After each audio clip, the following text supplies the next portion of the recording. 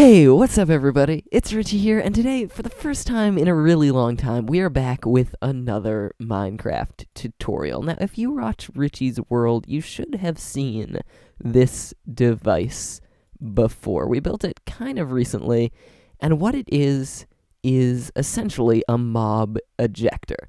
We have, uh, say, a villager in our world, or any kind of mob, down on a minecart, and then that minecart can get sent into this, the minecart gets collected and they get ejected from that minecart, meaning you can have a, a, a, really efficient system to transport mobs with rails, or a system, in our case, to kill unwanted mobs without wasting minecarts, because you can just collect them right here and then have it loop around and not have to worry about having to get mobs out of minecarts at the end or anything like that.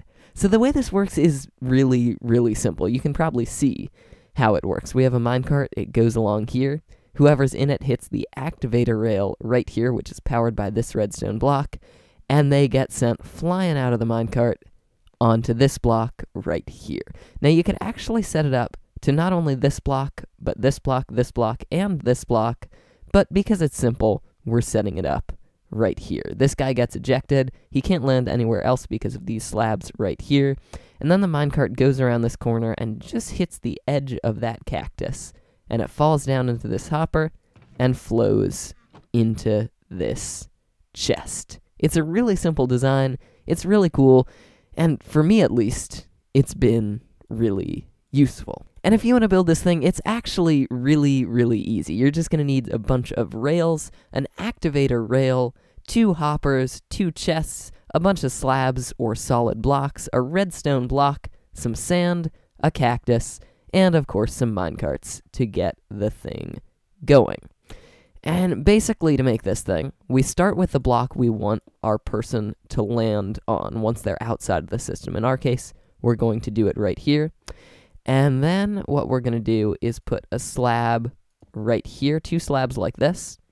And then we're going to go under a block right here, put a slab, basically, so there's a block, and down one block, there's a up upward facing half slab on top of it, and we're going to put sand right there. Of course, if you're underground, you can have a solid block. It really doesn't matter whether any of these things are slabs, with the exception of this ring around the top.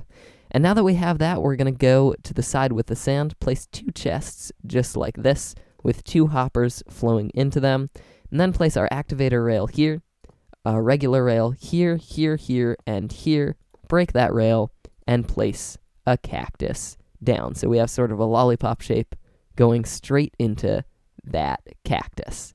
Now, if you notice, this is built the opposite direction from the other one. You can build this in any direction you want.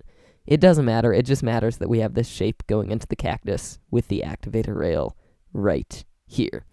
And from there, we're going to plop a block of redstone above that activator rail. And I know you're thinking, why don't we just power it from below?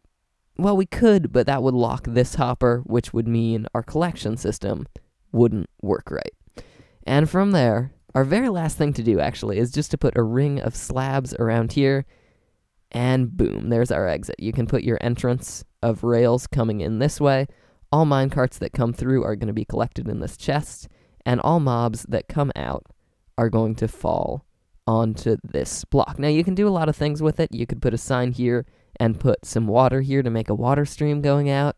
You could, like I do, close it off like this and put a magma block down there if you want to kill the mobs that land on it. Or you could just leave it like this. You could even use a system like this for players because it is cool to get just automatically ejected from your minecart like that. And it is very efficient to have all your minecarts collect very simply. But unfortunately, guys, that's it. That's going to be it for me today. I know it was a really short, really simple video, but if you liked it, please hit that like button and please subscribe if you haven't already.